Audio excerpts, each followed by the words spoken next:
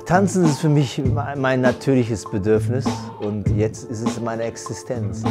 Ja, das heißt, äh, ohne Tanz äh, kein Kakao. Mein Background ist Hip-Hop und ich komme aus der Hip-Hop-Kultur und ich lebe auch die Hip-Hop-Kultur. Aber ich sehe mich trotzdem, ich will einfach nur Choreograf.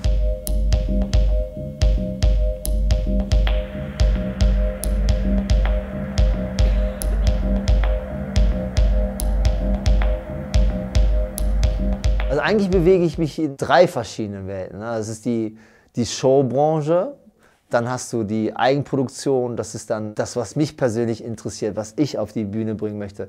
Und dann die Szene. Und diese drei Sachen sind so für mich so drei verschiedene Welten, die aber für mich irgendwie zusammengehören und die ich auch brauche für meine Arbeit. Wir hatten alle eine Vision, wir wollten halt das, was wir machen, einfach auf die Bühne bringen.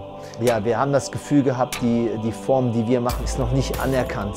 Und das war so die Idee, so das, was wir machen, auf eine kulturelle Bühne zu bringen.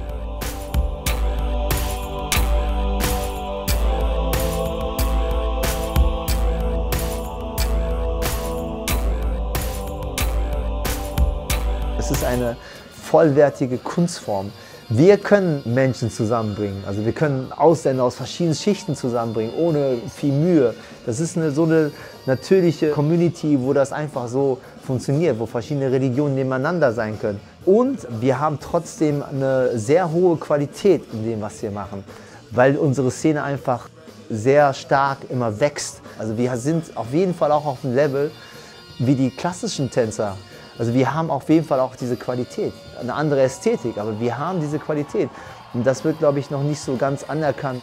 Ich möchte, dass die Szene größer wird. Ich möchte, dass sich die Szene entwickelt. Es ist für mich ja auch eine Freude und ich gebe denen ja eine Plattform. Und das ist für mich einfach ähm, schön, diese Entwicklung auch zu sehen. Und ja, das ist für mich auf jeden Fall eine Mission.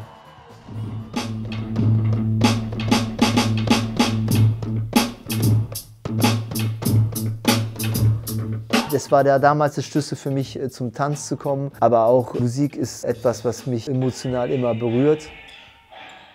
Für meine Eigenproduktion sehe ich die Musik mehr als einen Soundtrack.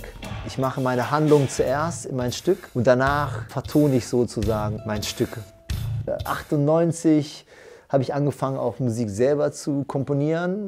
Die Musikstücke an sich haben meistens eine andere Dramaturgie als vielleicht die ich dann brauche im Tanz. Deswegen war es irgendwann für mich dann sehr wichtig, dass ich äh, die Musik selber manipulieren kann und die Musiker selber gestalten kann. Meine Zukunftsvision ist wirklich irgendwann mal Räume zu haben, wie so eine urbane Institution, wo wir die Künstler einfach die Möglichkeit geben, sich weiterzuentwickeln.